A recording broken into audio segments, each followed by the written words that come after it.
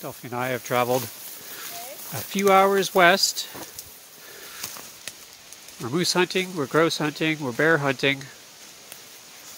And here's our first grouse. So hang around with us and see where this adventure goes.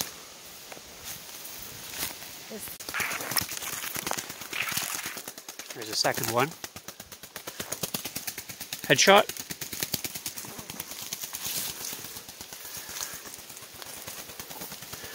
Nice spruce grouse. Oh, sorry, a nice ruffed grouse. I've got spruce grouse in the brain because we're far enough north that we might see a few here. Two. Shaping up to be a good trip. Got the pump with me. Keep this guy charged up.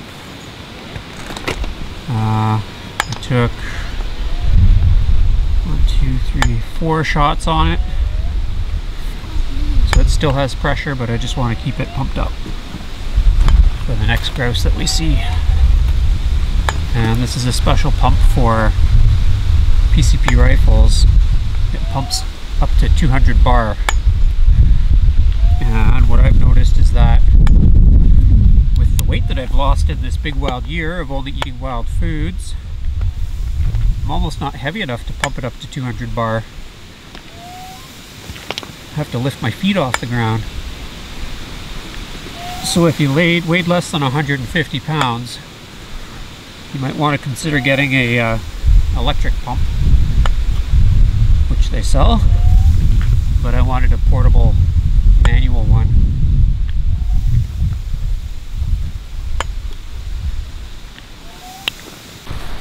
Okay, so we're popped over to another spot now. We're going to try this low-lying area just past this clear cut. Uh, we've got a couple hours till dark anyway, so we'll see what we see.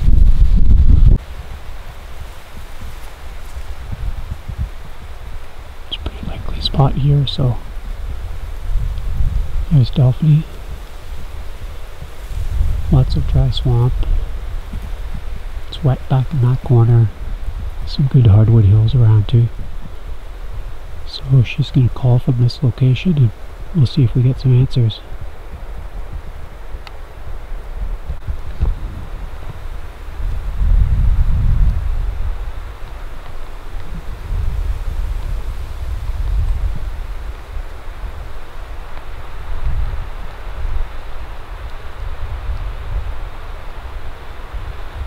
So we hunted for about two hours, an hour and a half, two hours. Um, nothing much happened, but it was really promising there. There was tracks, there was good habitat, felt like a likely spot, good sight lines. So our plan is to set up camp and then we are going to go back there first thing in the morning and try it again. And then when we run out of time, we'll hunt birds on our way back home. And uh, just a quick two day trip. So we found a really nice camp spot, but um, there was somebody already set up there. so we came down these little side roads, and this one here, uh, this is a jack pine plantation with a few red pines mixed in.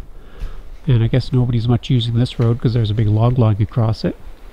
And it's nice and soft and open under there. So we're going to set up our tent. And there's lots of dry firewood. There's a good little sandy patch just over here on the road, so we'll make ourselves a little fire. Um, but we also uh, have the propane stove and my little camping tank. And Delphanie pre-cooked our supper, so all we have to do is heat it up. So we'll have a quick cook up and then a leisurely campfire. That should be alright.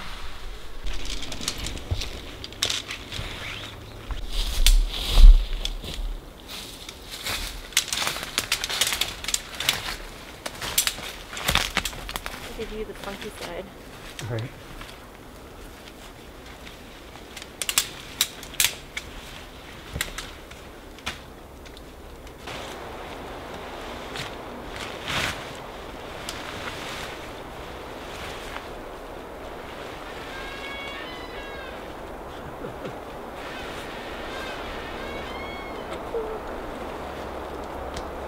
squeaky trees.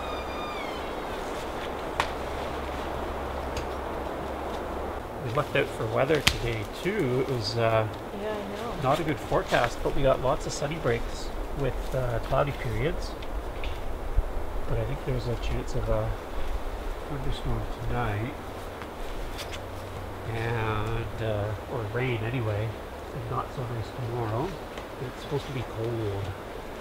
A high of eight degrees maybe, which means it's probably going to be chilly tonight. Might we might get a frost.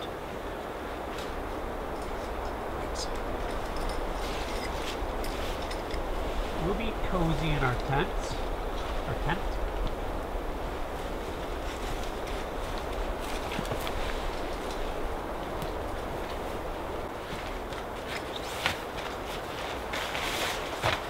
Good.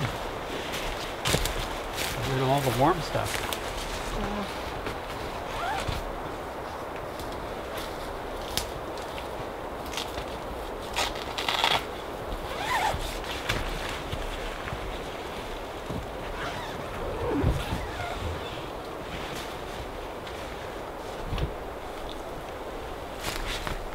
So maybe while Delphanie's setting up the bed, I'll cut some firewood and get our spot ready for a campfire.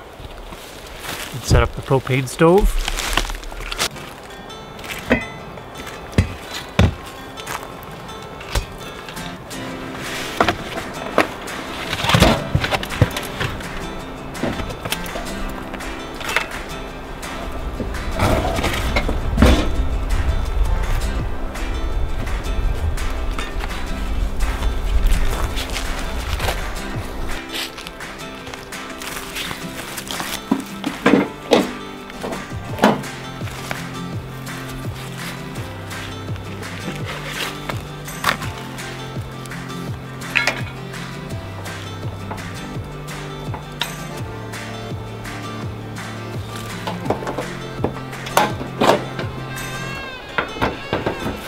This uh, propane stove for five bucks or ten bucks at the yard sale, which is a pretty good deal. Works really nice. And uh, the uh, five pound tank is perfect for this kind of camping.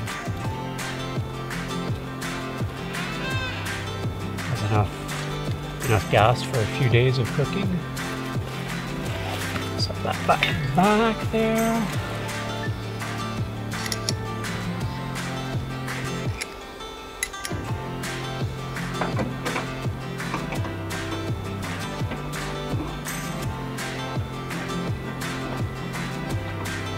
This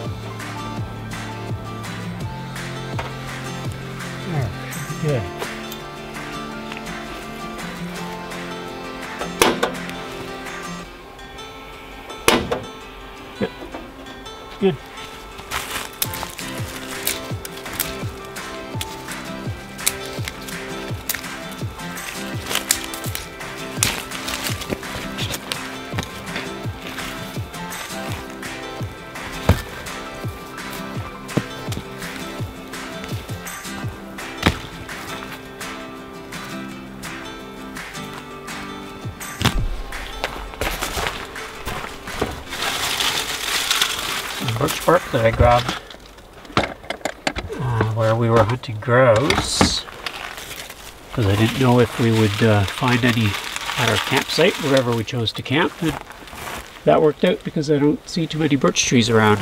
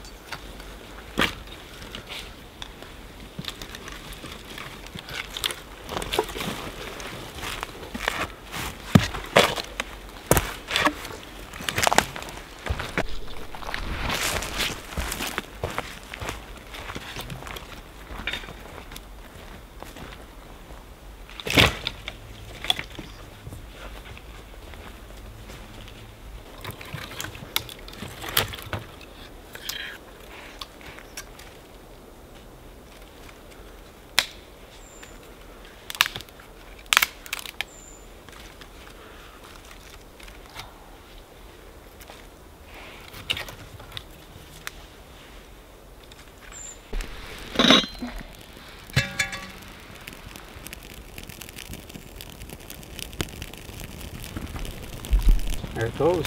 Oh, this is so kind of a mess from the last time you went. Yeah, forgot to wash it. Mm-hmm. I'm gonna get a shot of that supper. 'Cause it looks so good. Hmm, Ooh, two little grouse. Those are yesterday's grouse, not mm-hmm. today's grouse. With the mushrooms that we found, And all the mushrooms we found. some dried roots, some grape apple juice, water, salt. That sounds good. Mm-hmm. And here, mm-hmm. It's not even hot yet. Some rice with With the, this. Cake. Pretty clear on it, but oh yeah. This Rice has cake. um, Oh, I feel the heat from this already. black oil in. The butter. No, Oh, the bitter- hickory nut. Yeah. That sounds good too.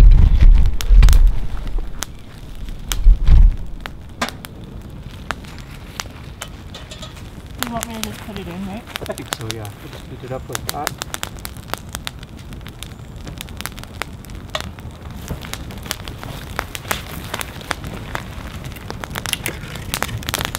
It's a lot of in. I'm hungry. You and I have eaten the same food today, which is that we had a little morning snack of three maple candies each. And then we had an afternoon snack of some walnuts. No, you had um, a liver and I didn't. Oh yeah, I ate, I ate a fresh liver out of one of the grouse. And we had the walnuts, applesauce, maple syrup, and I had bear fat with mine. I would have had liver Would you have? There's still one in there. if you had offered it.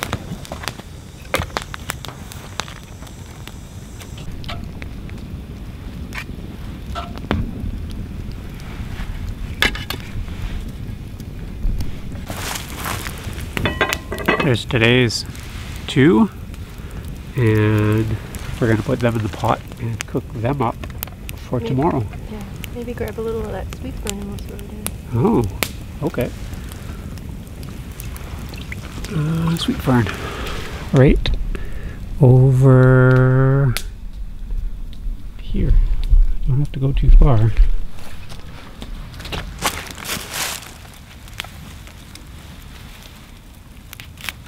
fact, one thing we should do tomorrow is pick our winter supply of sweet fern, seeing as how it's so abundant. Enough? Oh yeah, I'm so ready to eat.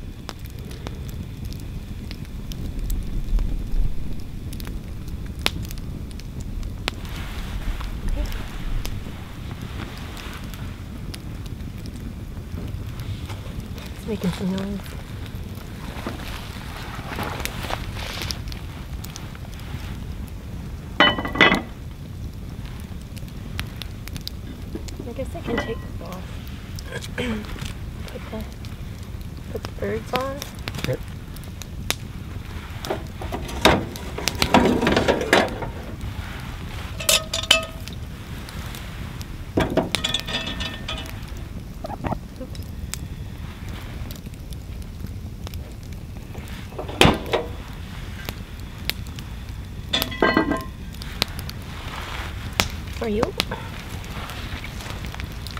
Thank you.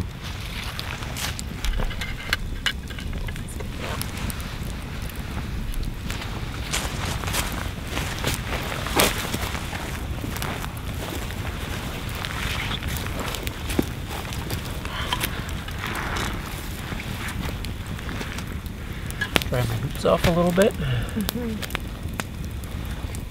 Looks good, babe.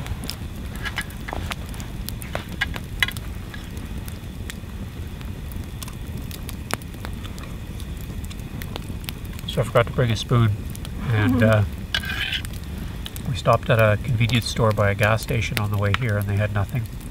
And then we stopped at a trading post, which was like a gift shop. Mm-hmm. And they had lots of fancy Leather, stuff there. moccasins, quill work, and then like other gifty things. Yeah. Christmas decorations, cottage decorations, Yeah. decor stuff. And I found this, I think it was called a like a mini spatula or Mm-hmm. something. Melamine. It was the closest thing to a spoon, so I'm just shoveling food in my mouth with this. It works. The rice is really good.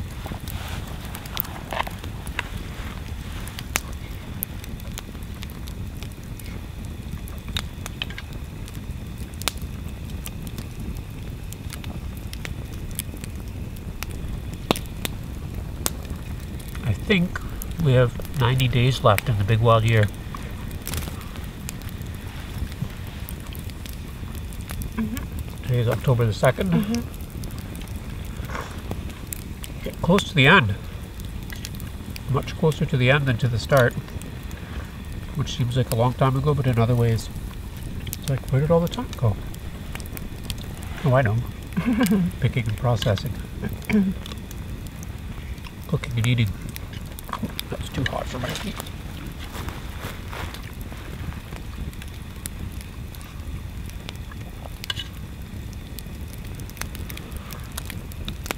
Yeah, and we're just at the start of hunting season. We have 14 grouse so far and two ducks.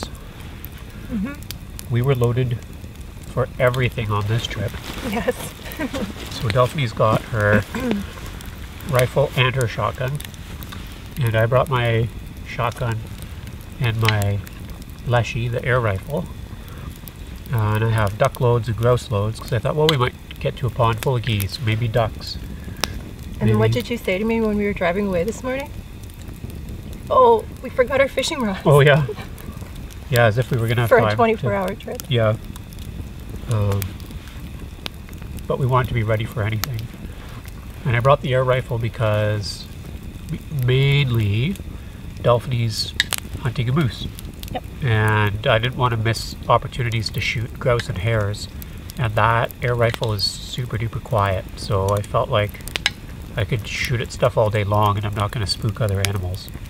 Um, it's just like a twig snap when it goes off. So it's really handy for that and it's super accurate. So I made two headshots on two grouse. It's super accurate, or you're super accurate? Uh, you know, it's a, it's a team effort. It's a combo. Not super accurate with the shotgun lately. Missed a couple grouse uh, yesterday when we were out. So did I. Um, yeah. But, uh, but we were ready for anything. And if we do get a moose or, or a bear, bear season's open and we have our tags. Uh, we brought tarps and we brought uh, painter's drop cloth, so we have some nice clean canvas. And the plan is ultimately to sew a couple of game bags with that, right? So we have uh, game bags to put quarters of animals in if we're far from home and want to be able to transport them cleanly. What else did we bring?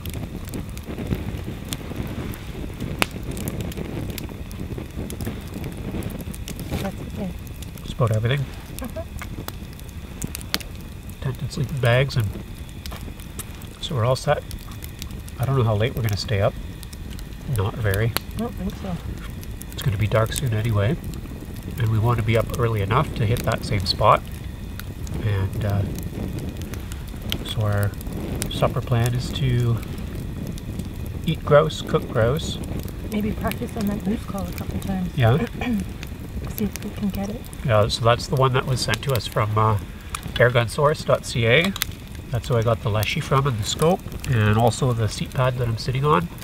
The also the backpack. backpack that I've been carrying all day. Mm-hmm. Um, so they sent a lot of goodies, which were in a previous video that I posted. So again, thanks to uh, those guys at airgunsource.ca, Kirk and Company. Um, and uh, I lost my train of thought. The moose call. Oh yeah, the moose call. Yeah, so Delphi's gonna practice on that until she sounds like a wanted moose. Mm-hmm. Draws them all in. I think I can. Yep.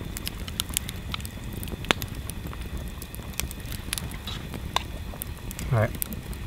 I want to eat instead of talking, so camera's going off. Probably no more updates tonight. We will check back in in the morning. You saw the cake, we're going to eat it. I'm not going to show it again. And we're going to cook some dandelion root coffee, I think is the plan, eh?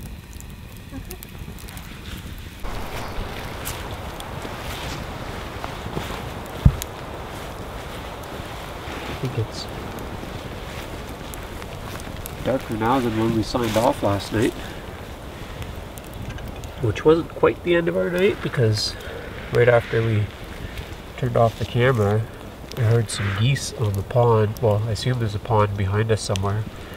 So we went for a quick walk before it got actual dark. But the trail petered out, so we couldn't. Uh, I forgot that I had that on. We couldn't get to the pond or swamp or whatever was there. So we came back and finished supper. Not quite finished. Not quite. Yeah, there's a little bit of cake left over, so I was going to have a little snack this morning. And then we heard geese go by in the night. so that was pretty cool. Yeah, they must have flown right over. Maybe going to that other. Maybe where we're going, Yeah. that'd be alright. Like goose or moose? Goose or moose? Well, still real big. Yeah, Be good. Oh, here comes some rain again. yeah, there's like the tiniest little sprinkle of rain. There was the tiniest sprinkle of rain in the night, Twice. But uh, our tent was dry when we got up this morning. So that was good. We got up at 6.30, rolled out of bed, got a fire going, tent's all packed up, coffee, dandelion root coffee's made. It's uh, seven, quarter past seven. We're, we're just about ready to go, so we'll let the fire burn down and then pack up the rest of our stuff and head back over to the moose swamp and try our luck there. So we're not moose hunting experts, but a lot of people say if you call in the evening, there'll be a moose there in the morning. We are hmm. kind of hoping that there'd be a moose there while we were calling, but there wasn't. But got our fingers crossed that one got curious through the night and came by. And I've been to meadows like that, so where we were, you saw it's kind of like a dry meadow, uh, and then it's wet at the farther end where there's still a bit of a beaver dam, I guess. Uh, but moose will bed down in that too. Sometimes all you see is their ears sticking up out of the grass. Or their antlers. So we'll watch for that as we're coming down the trail.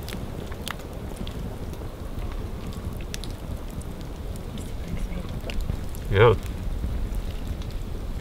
And hopefully the rain holds off. This is our spot. There are a few little blue patches in the sky, but it's mostly overcast, so I don't know what we're in for exactly, but should be dressed for the weather. And I think the wind is still good for us to sit in the same spot where we were last time, but we're trying to be conscious of the wind and where our scent's going when we're hiding out. Delphi's all ready. She just racked one in there. We're gonna get at it. There's an older moose track there. There's another one that shows pretty good over here. And another one here. Another one here, and one going the other way. And there's quite a few more closer to this one as well.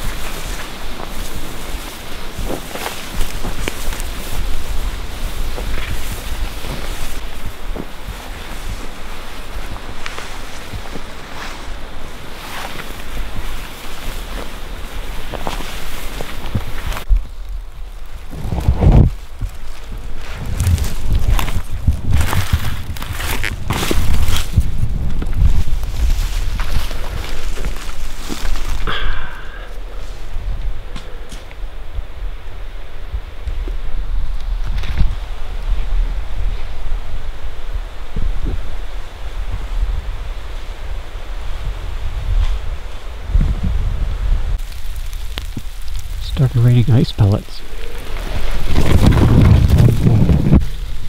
See them on the backpack.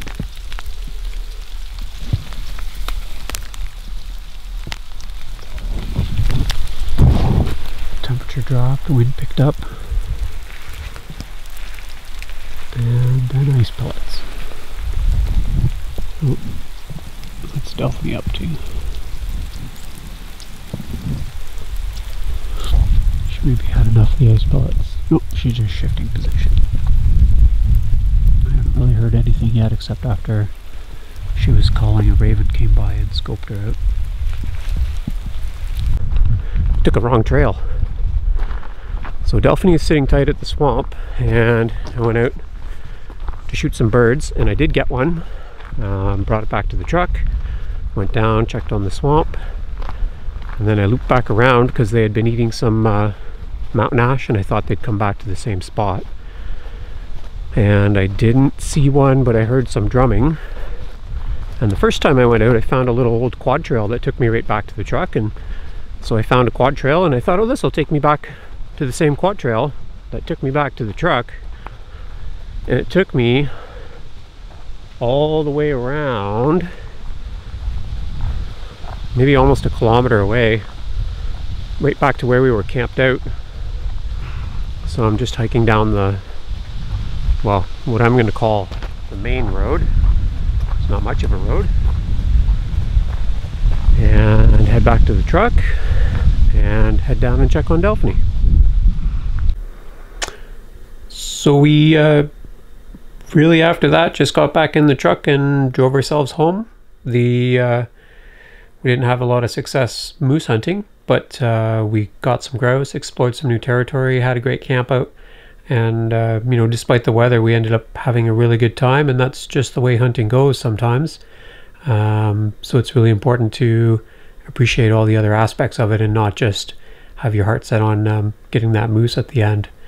So uh, from from this adventure we've uh, leapt into some other adventures. So if you keep watching on the channel you're going to see some waterfowl hunting with Steve Funfer coming up. Um, I went and did some crossbow hunting with the Wooded Beardsman as part of season six of the Wilderness Living Challenge. Um, and uh, right now because I'm just catching up on some video we're in the middle of our rifle season for uh, whitetail deer. So if you like what you see, subscribe, turn on the notifications, all that kind of stuff. You know what to do. And uh, watch for us on our live streams. And we'll chat.